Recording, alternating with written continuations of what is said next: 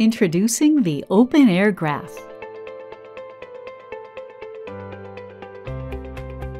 OpenAIRE Graph is one of the largest open scholarly record collections worldwide, key in fostering open science and establishing its practices in daily research activities. Graph aims at bringing discovery, monitoring, and assessment of science back into the hands of the scientific community. It is created from open and authoritative research sources around the globe and it uses graph database technology combining relationships between scientific products and entities.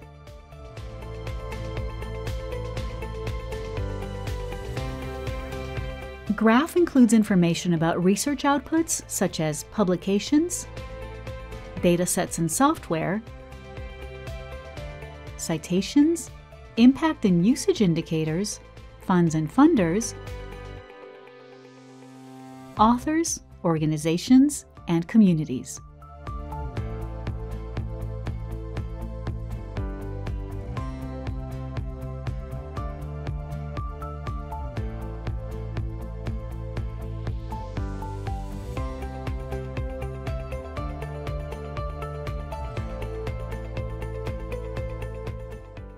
How does Graph work, and how does the research ecosystem benefit?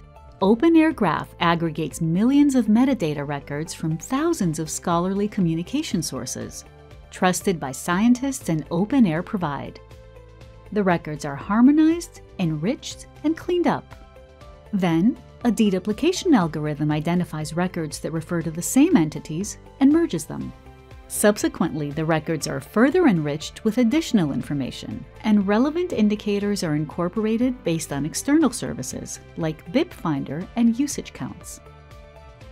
A finalization process improves the overall quality of the graph data.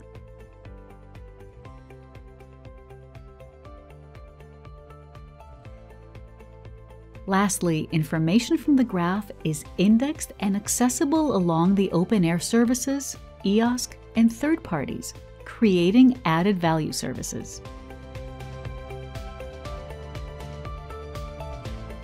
OpenAIRE Graph is a service for content and service providers, research infrastructures, and innovators.